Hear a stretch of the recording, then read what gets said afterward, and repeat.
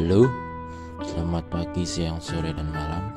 Tema hari ini adalah air hijau untuk ikan hias. Nah, dalam budidaya ikan hias sering kolam kita atau akuarium kita warnanya menjadi hijau. Nah, itu sebenarnya sangat bagus untuk ikan hias. Kenapa? Karena air hijau itu adalah banyak sekali mengandung fitoplankton. Fitoplankton itu adalah sejenis plankton yang berasal dari tumbuhan karena ada dua jenis yaitu zooplankton dan fitoplankton.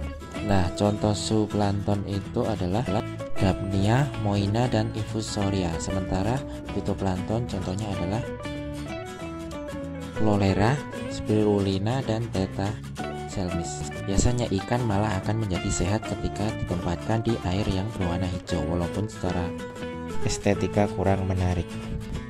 Nah, selain itu, urayak ikan hias atau ikan konsumsi itu akan lebih cepat besar ketika ditaruh di kolam yang berwarna hijau.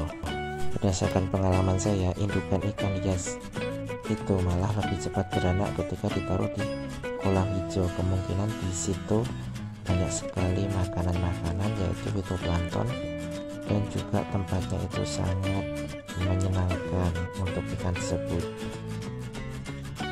karena banyak sekali kandungan oksigen. Nah, perlu diketahui bahwa fitoplankton ini mempunyai klorofil. Nah, klorofil itu juga melakukan proses fotosintesis yang menghasilkan oksigen sehingga membuat ikan itu sangat nyaman dan mudah beradaptasi alias tidak mudah stres dan jarang sekali ikan itu sakit biasanya yang meninggal itu atau yang mati itu hanya karena usia yang sudah tua. Kemudian bagaimana cara membuat air hijau? Caranya gampang cukup di cukup ditaruh di tempat yang terkena sinar matahari. Nanti secara perlahan dia akan hijau dengan sendirinya.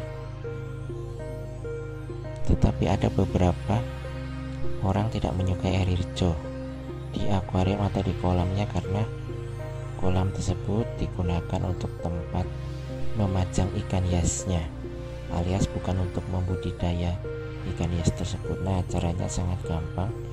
Jika anda tidak suka dengan hijau cukup kita beri saja kolam tersebut dengan tanaman-tanaman seperti eceng gondok, ganggang, apu-apu, frogweed dan sebagainya. Nanti si fitoplankton tersebut akan kalah bersaing dalam berebut nutrisi makanan sehingga dia tidak akan tumbuh maksimal. Nah, bagaimana jika ikan-ikan yang dipelihara tersebut adalah pemakan tanaman? Nah, caranya gampang yaitu pakailah tudung saji atau semacam keramba. Nah, tanaman tersebut dimasukkan ke dalam keramba atau tudung saji tersebut dijamin ikan tidak akan bisa memakan tanaman tersebut dan air akan tetap jernih. Nah, cara menghilangkan air hijau ini menurut saya sangat efektif karena tidak memerlukan filter dan aerator. Oke, selamat pagi, siang, sore, dan malam.